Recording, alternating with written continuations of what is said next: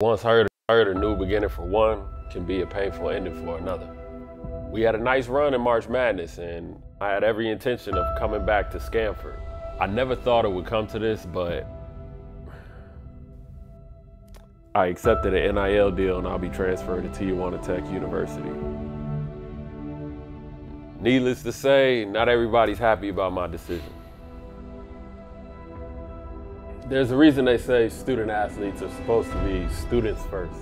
Well, whoever said that must have never seen NIL money before. What did they promise? What did they promise?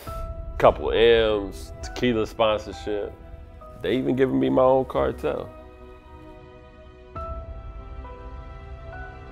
All of a sudden, I don't have beef anymore. Life's been good. I gave that boy life. I put the ball in his hands. Now he walking around with gold chains and cell phones like it's the 80s. We done with the 80s. When he gonna take care of his old man? Pop suing me for child support reparations or something. Tell you something else. He lucky he got a goddamn daddy. Everybody out here getting paid. I'm still walking around in Pumas. It's 2024. He out here worried about himself and his old man broke. Mama getting paid, coach getting paid. Started on that bum ass coach in my life. For me, it's not about wins and losses. It's about loyalty to the university, and the kid doesn't have that.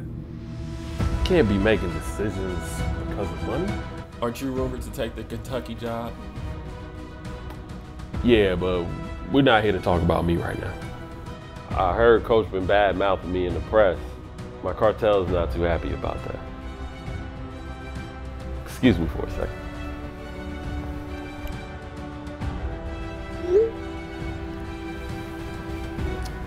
So where were we? A lot of people have said that I've changed, but I think it's the people around me that are changing. They say they miss the old me, and I say if money don't change you, then you ain't made enough yet. Whoever I was, I don't know, dude.